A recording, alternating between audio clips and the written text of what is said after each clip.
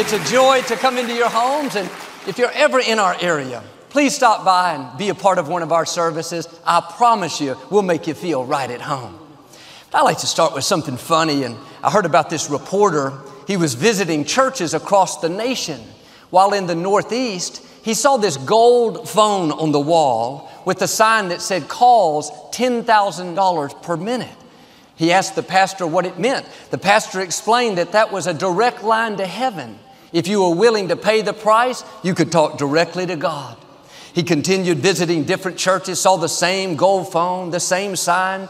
When he finally made it to Texas, he saw the phone, but the sign said calls 25 cents per minute. Intrigued, he asked the pastor why it was so much cheaper. The pastor said, You're in Texas, now it's a local call. Say it like you mean it. This is my Bible. I am what it says I am. I have what it says I have. I can do what it says I can do. Today I will be taught the Word of God. I boldly confess, my mind is alert, my heart is receptive, I will never be the same. In Jesus' name, God bless you. I want to talk to you today about your faith. In Mark chapter 5, there was a lady that had a bleeding disorder for 12 years. She'd gone to many doctors, spent all of her money, tried everything she could to get well, but nothing helped. She continued to go downhill. One day, there was all this commotion in her town. She found out that Jesus was passing through. She had heard the stories of how he had healed a crippled man, how he'd opened blind eyes, how he'd cured someone with leprosy. Something came alive on the inside. She thought, he did it for others, He can do it for me. She could have been discouraged, complaining, life is not fair, why did this happen? Instead, she said to herself, if I can get to Jesus and just touch the fringe of His robe, I know I will be healed. The problem was there was a great crowd surrounding Jesus, thousands of people, all packed in. Seemed impossible. Most people would have given up and thought, hey, it's not meant to be. Not this lady. She started making her way through the crowd. Excuse me, I need to get by. Pardon me, I have to get up front. I don't mean to be rude, but move out of my way. People looked at her like, what's this lady's problem? She was on a mission.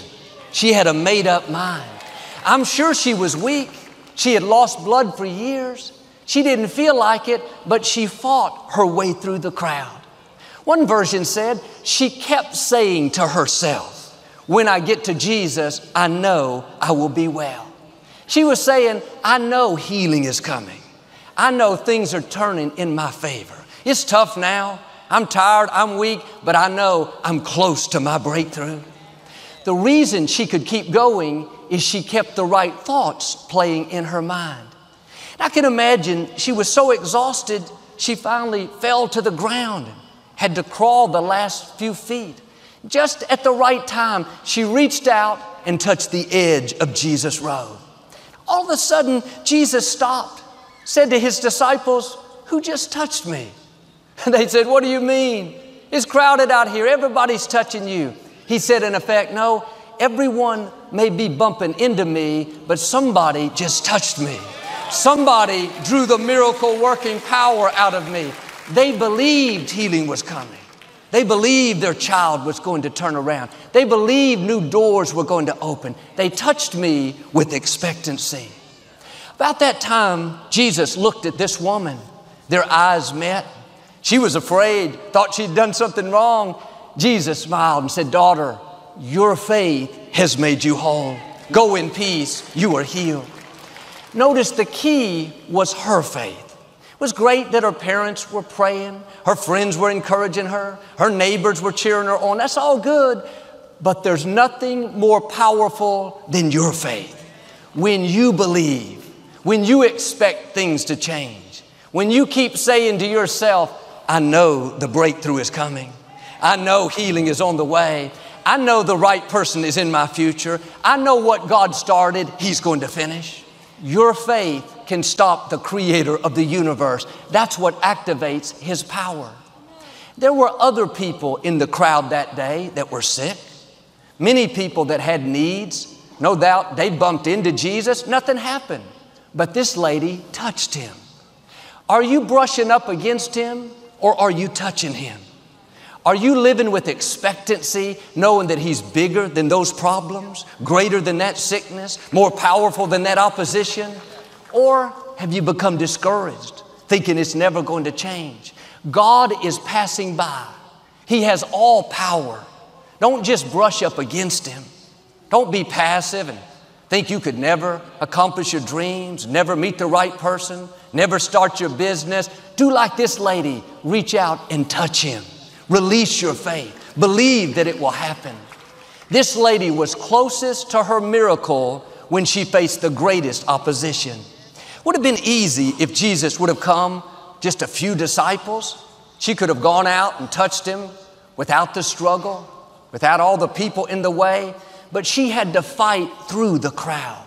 The crowd represents broken dreams, things that didn't work out.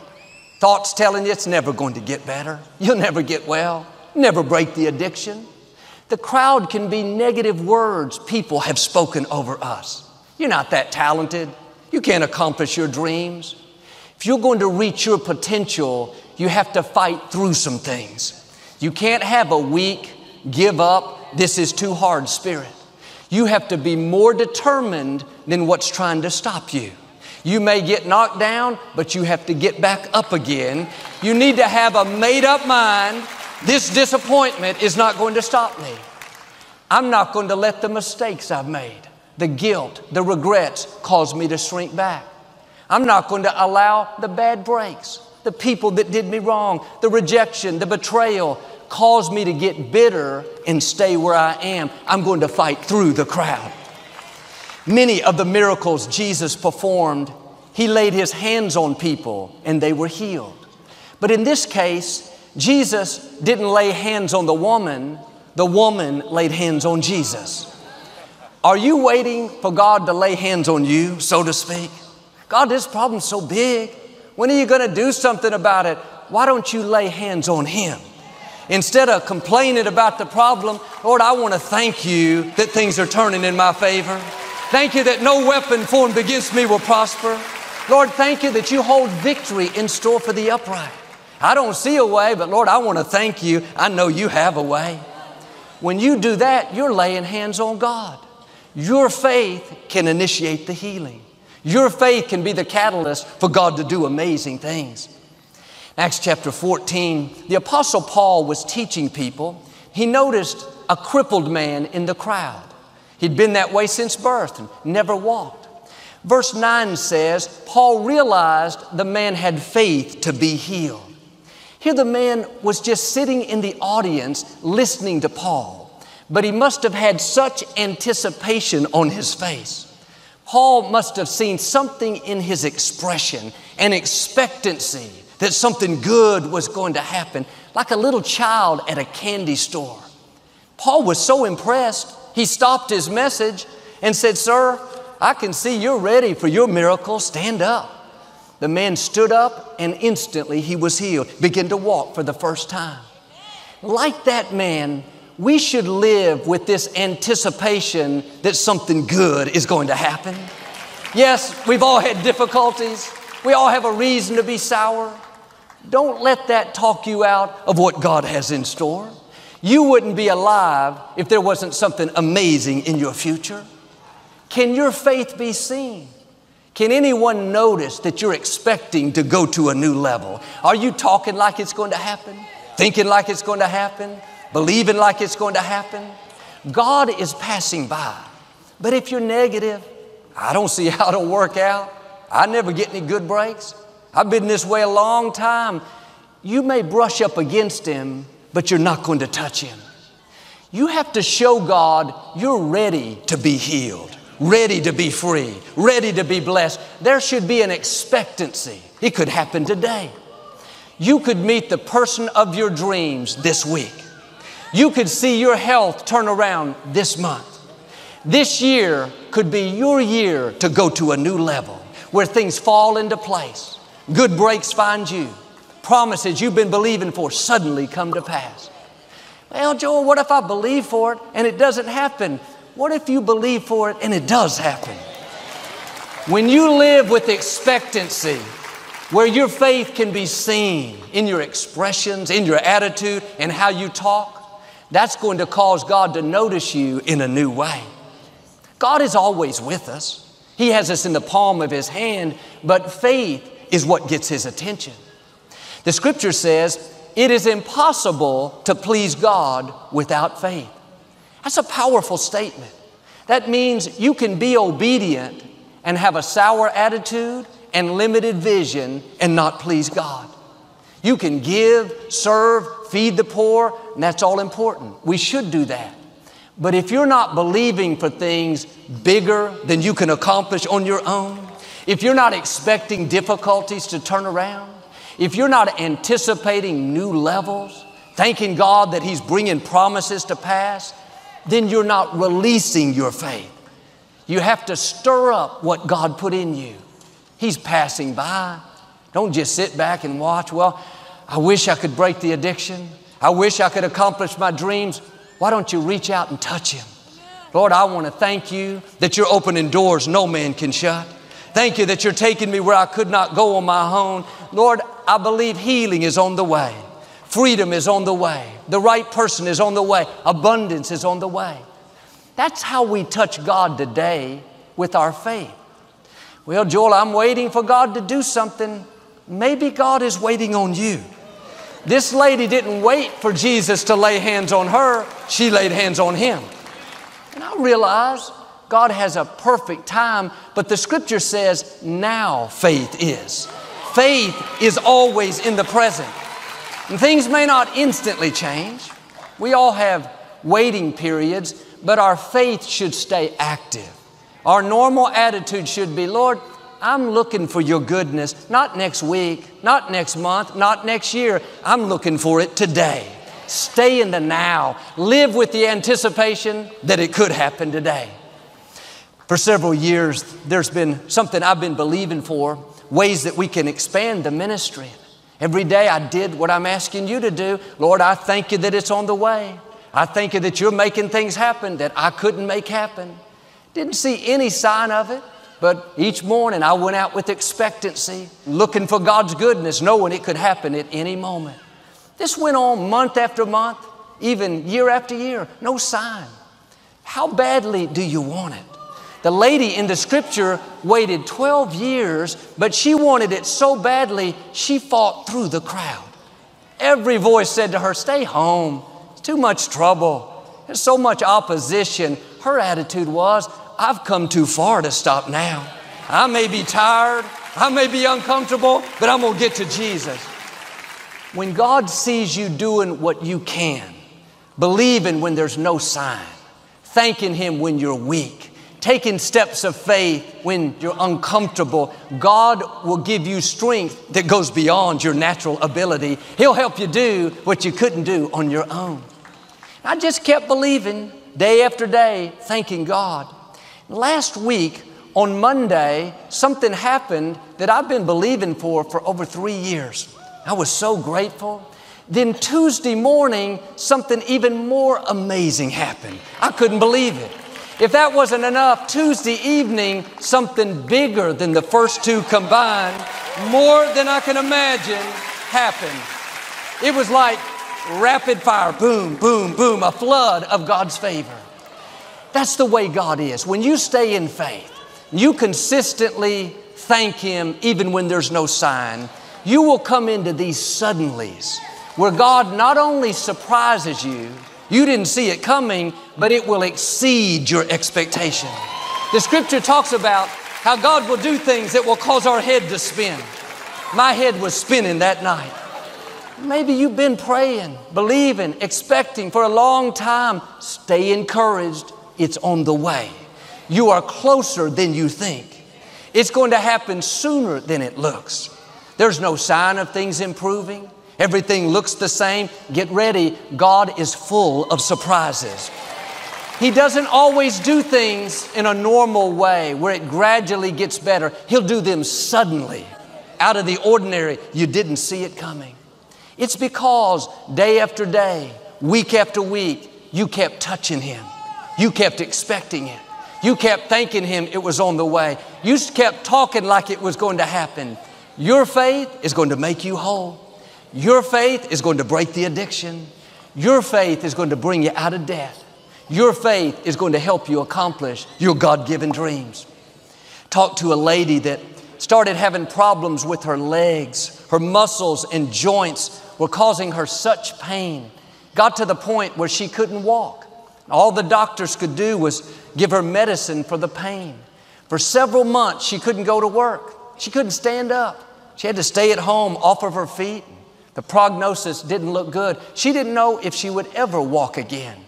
One Saturday evening, she and her husband were watching our services online. At the end, I always ask people to stand to receive Christ. Well, her husband stood up right there in the living room. She smiled and was pleasantly surprised. He looked at her and said, Come on, honey, stand up with me. She was kind of confused, said, What do you mean? You know I can't stand. He said, Sure you can. Took her by the hands and he helped her up. He held her while we were praying. I can imagine God seeing her there, standing in great pain, being held by her husband, but determined to take a step of faith. I said at the end, write this date down. It's going to be a new day of victory. That seed took root in her heart. She believed it was a new day. In a few minutes, while she was sitting on the couch, she felt the bones in her legs begin to pop and crack, and her muscles begin to move. She said, I can't explain it, but something unusual was happening.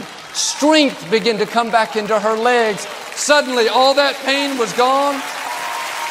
Her husband had fallen asleep. She stood up and walked into the bedroom. He couldn't believe it. The next morning, they both got up and went to church.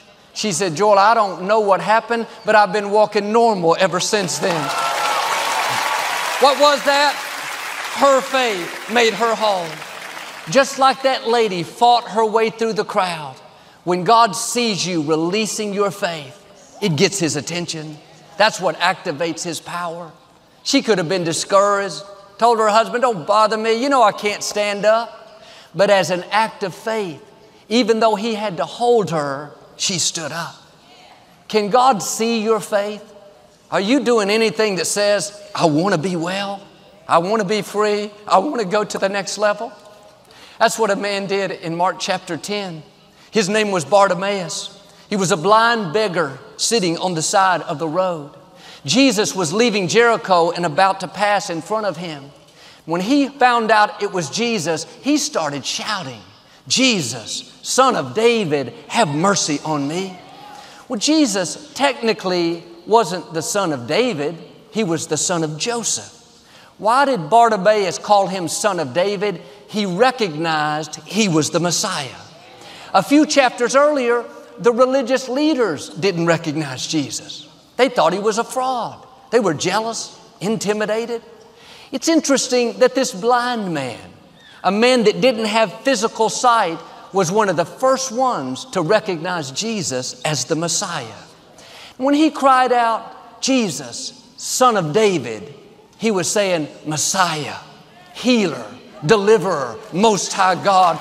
Jesus stopped in his tracks. I can imagine Jesus thinking, here's someone that knows who I am. He knows I am all powerful. He's expecting my goodness. When Bartimaeus started shouting, people around him said, Bartimaeus, be quiet. You're causing a scene. He's going to get upset with you. People will try to talk you out of your miracle.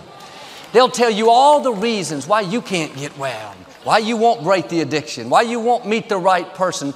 It's because they don't know what God put in you.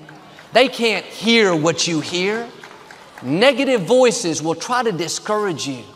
But when you get quiet, you'll hear that still small voice saying, This addiction is not your destiny. You're better than this.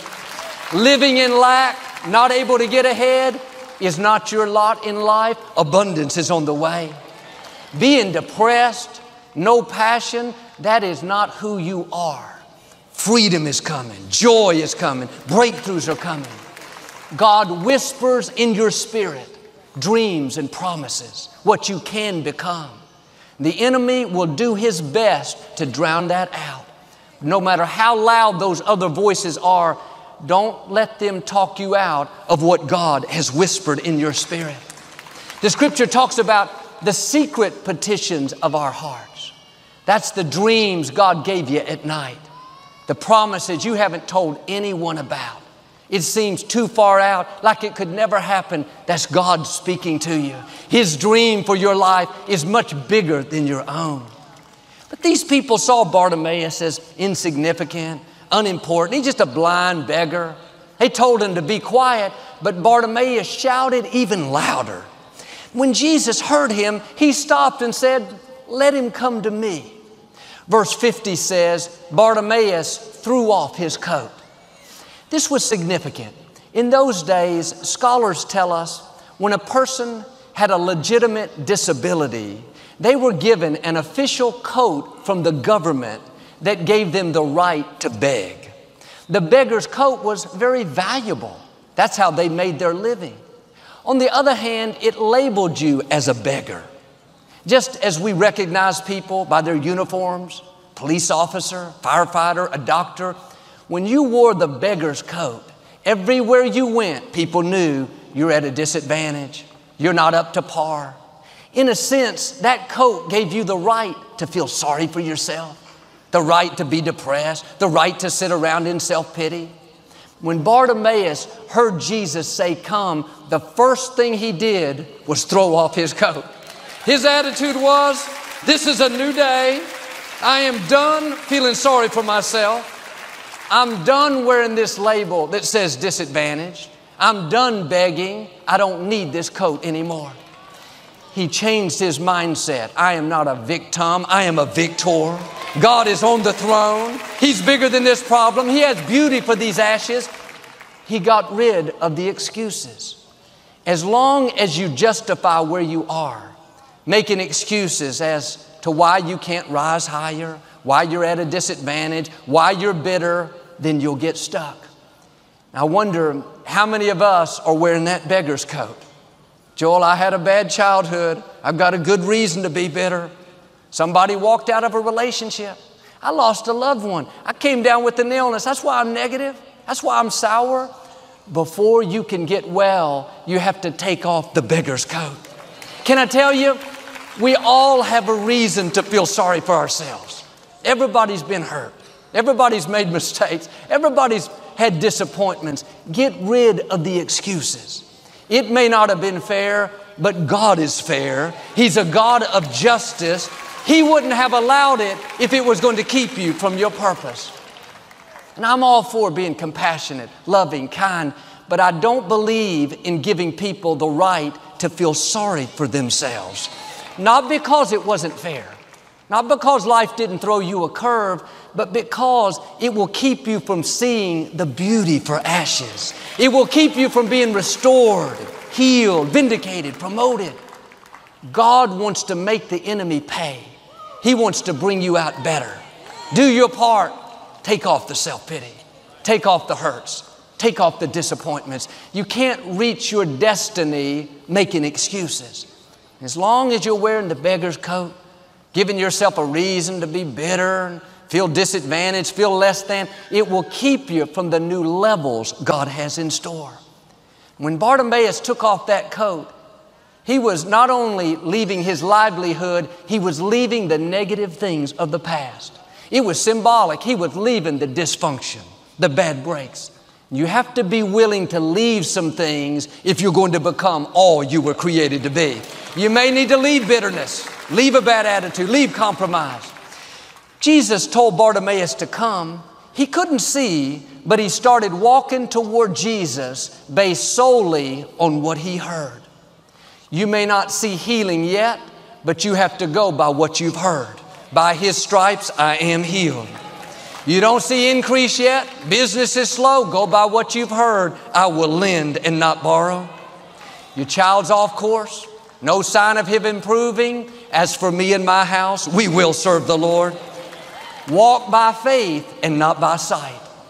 Jesus asked Bartimaeus, What is it that you want me to do for you? He said, Lord, I want to see. Jesus said, Your faith has made you whole. Go in peace. You are healed. Instantly, he could see. God is saying to us what he said to him. Your faith is going to turn things around. Your faith is going to open the right doors. Your faith is going to bring unusual favor. It's going to happen sooner than it looks. Keep expecting it. Keep talking like it's going to happen. Go out each morning looking for God's goodness. He's passing by. Don't just brush up against Him. Do like this lady, reach out and touch Him. If you'll do this, I believe and declare, like Bartimaeus, your faith is going to make things happen that you could never make happen. God is about to open supernatural doors, turn impossible situations around, and take you to the fullness of your destiny in Jesus' name. If you receive it, can you say amen today? I'd like to give you an opportunity to make Jesus the Lord of your life. Would you pray with me? Just say, Lord Jesus, I repent of my sins. Come into my heart. I make you my Lord and Savior. Friends, if you prayed that simple prayer, we believe you got born again. Get in a good Bible based church. Keep God first place. Your partnership makes this ministry possible. Your faithful and consistent monthly support makes you a champion of hope. The vision of Joel Osteen Ministries is to use every avenue available to present the hope of Jesus Christ to people everywhere.